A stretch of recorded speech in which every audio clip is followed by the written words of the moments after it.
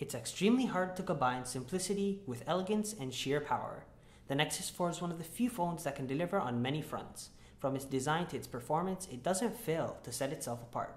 See how in this review.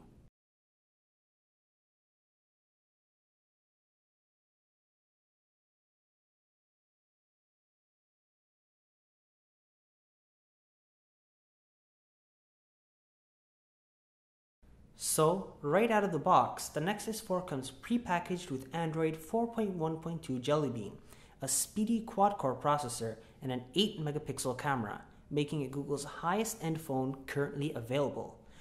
That's until the Galaxy S4 Google edition comes out. But like anything else, the Nexus 4 has its flaws, but it redeems itself by converting on all cylinders with its performance. Its 1.5 GHz quad core Qualcomm Snapdragon processor, in conjunction with its 2 GB of RAM, result in its robust and agile responsiveness. But it doesn't end there. The Nexus 4's display further affirms its premium look and feel. The Nexus 4 sports a 4.7 inch true HD IPS Plus touchscreen made out of Corning Gorilla Glass 2. Now, 4.7 inches might sound nice, until you find out that about one third of an inch is used for on screen hotkeys, which is one of Nexus 4's design problems, so to speak. When it comes to design, the Nexus 4 has Google written all over it, mainly because it lacks LG's past aesthetic. The Nexus 4 pushes minimalistic design and simplicity to the edge.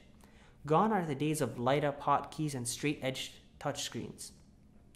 Although the Nexus 4 improves on its predecessor, the Nexus, it still has some flaws. The Nexus 4 doesn't allow you to remove the back or even change the battery. This is a fail and a half. The rear cover is screwed to the mainframe of the phone by an unconventional screw, causing more of a hassle for whoever wants to access the interior of the phone. On top of that, the back is made of glass, which can easily shatter or break. Despite Google's careless design, the Nexus 4 compensates for its problems with features and its OS.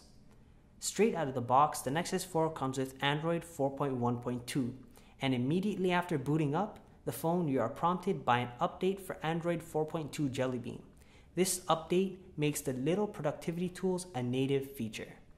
The 4.2 Jelly Bean update includes features such as gesture typing, daydreams, photosphere camera, which is basically like street view, and wireless connection to displays such as televisions and monitors. Gesture typing is a feature that allows you to type the word on your phone by swiping your finger over the keyboard. This is the greatest, the greatest feature out. Boom, I'm out. And now I'm back. Daydreams is basically a screensaver.